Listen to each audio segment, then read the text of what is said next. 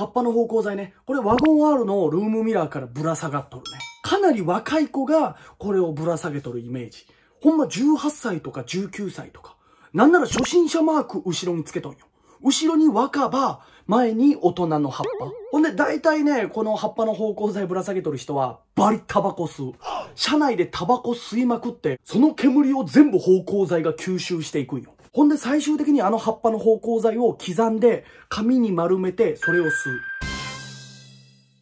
リトルツリーね、これ世界中で大人気なんよ。まあ、特にアメリカではかなり売れとるらしい。木の形がね、おしゃれよね。これ匂いの種類もバリあるんよ。この世の全ての匂いがあるけんね。野球部の部室に5年前ぐらいからあるスパイクの匂いも多分ある。まあ、やっぱね、これはね、なんかおしゃれな車のルームミラーからぶら下がっとるね。FJ クルーザーとか。アメ車にはアメリカの国旗のリトルツリーがぶら下がっとるね。たまにどっさりね、リトルツリーをぶら下げとる人おるんよ。もう束になっとんよ。もう森。中に鹿住んどるね。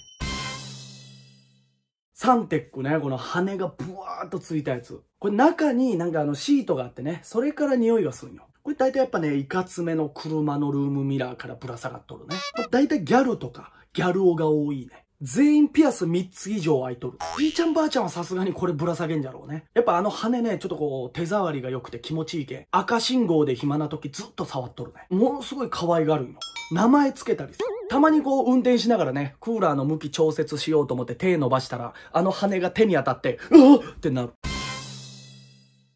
木でできた芳香剤ね。これ天然の木にアルマオイルをたっぷり染み込ませとんよ。これもね、いろんな香りがあるんだけど、これ男女問わず自然を愛しとる人がぶら下げとるね。休日は森に行くような人。フォレスターとかに大体ぶら下がっとるね。この木のやつぶら下げてぶわ森行って、ほんで窓開けてオカリナ吹く。ほんな森の中からオカリナの音に連れられて鹿が出てくる。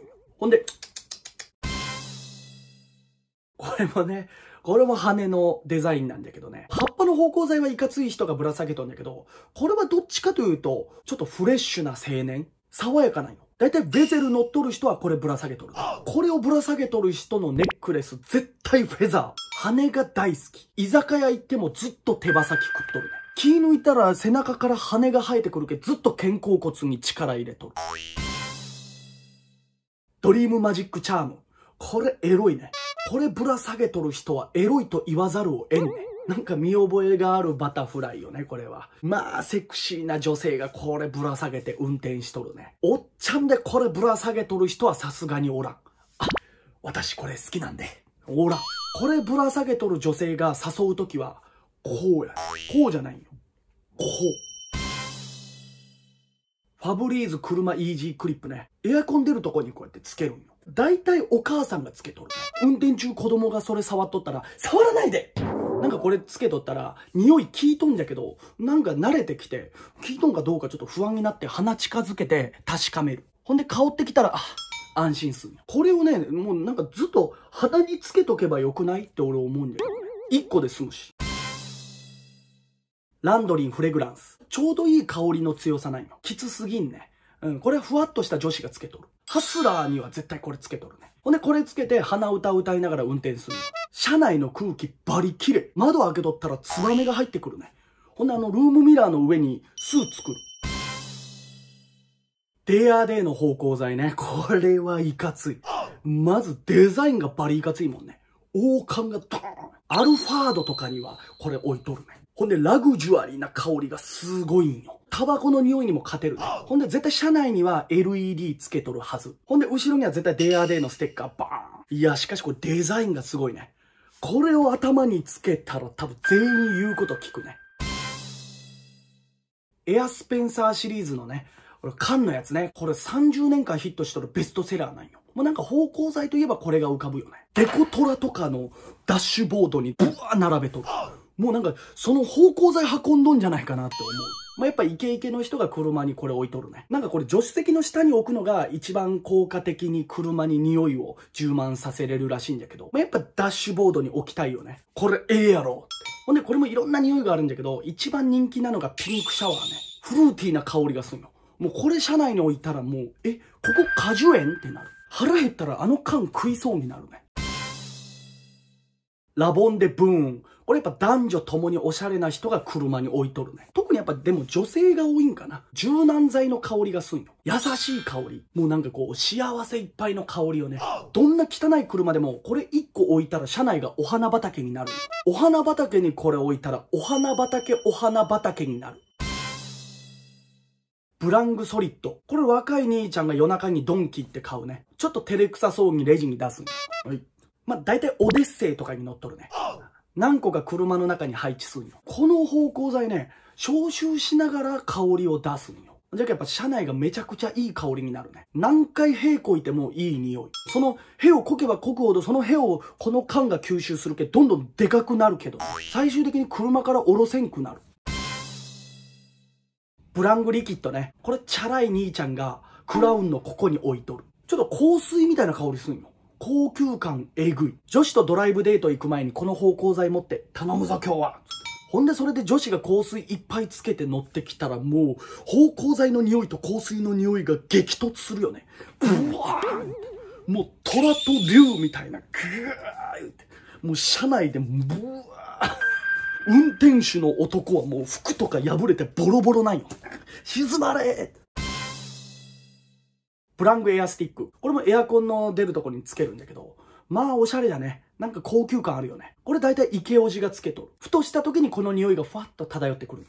ほんでバリダンディーにこうやって運転して、全員惚れる。料金所のおっちゃんも惚れる。私も乗せてってもらっていいですか？プラングリング。これおしゃれじゃない？まあまずデザインがおしゃれなんよ。たまにめちゃくちゃ汚い車にこれだけ虚しくついとる時あるけど、もうあの匂いのする液がもうカラッカラないよ。冷え上がっとるね。なんかラピュタを見た気分。昔はここも栄えとったんか。あれもなんか前世紀は香りを出しとったんじゃろうな。切なくなる。ラビッコね。これ OL が車内に置いとるね。耳がぴょーんって出とる。これ可愛いけんやっぱ人気よね。だいたいこれ車に置いとる女子はモテるね。絶対ぬいぐるみとか可愛いものを車内に置いとる。ハンドルカバーも可愛いのつけとんよ。けど、まあまあ運転荒い。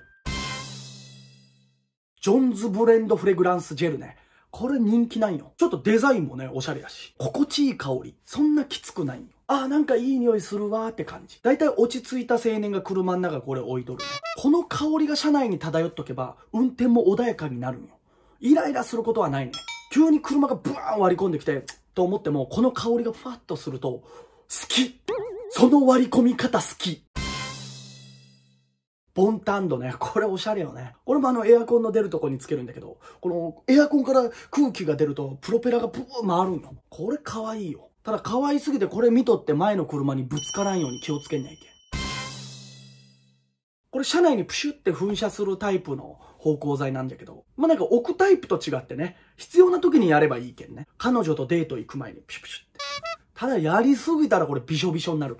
彼女がお待たせって車乗ってきたら香りがブワーっと来て、ほんで助手席に乗っとる男がもうびしょびしょで、待ってないよって。キャー言って二度と会ってくれになる。びしょびしょ見せんように気をつけねえけ。これいいよね。これエンジンオンにしたら自動噴射するよ。ほんで香りも4段階に調節できる。車の中にあったらインテリアとしてもいいしね。だいたいこれを車に置いとる人は綺麗好きな人。家に絶対ルンバある。ただこれ朝車に乗ってね、ちょっと息が臭い時、プシュプシュプシュプシュプシュってやられたらショックよね。プシュプシュプシュプシュ。これはもうオブジェじゃん。もう匂いせんでも置いときたい。これが似合う車って何なんじゃろうね。ビートル。どうも、向井ワンダーランドです。いつも動画を見てくださりありがとうございます。今回はこの芳香剤を置いてるのはこんな人だってことで、今まで結構リクエストあったんですよ。ついにやらさせてもらいました。ありがとうございます。僕もね、芳香剤持ってんですよ。葉っぱの芳香剤。これいかついよね、やっぱね。うん、こうやってね。うん、やっぱいい匂いするわ。何なんじゃろうね。すごいですよね。これ1枚で。車中にこの匂いがするんじゃけん。俺、一時風呂場にこれぶら下げてましたから。うん、なんか、一気に車の中みたいになりました。ぜひ皆さんの使ってる芳香剤も教えてください。偏見シリーズ、ランキングシリーズのリクエストありましたらコメントいただけると嬉しいです。Twitter、インスタのリンクを概要欄に貼ってますんでよかったらフォローお願いします。チャンネル登録、高評価、ベルマーク通知よろしくお願いします。以上、向井ワンダーランドでした。ありがとうございました。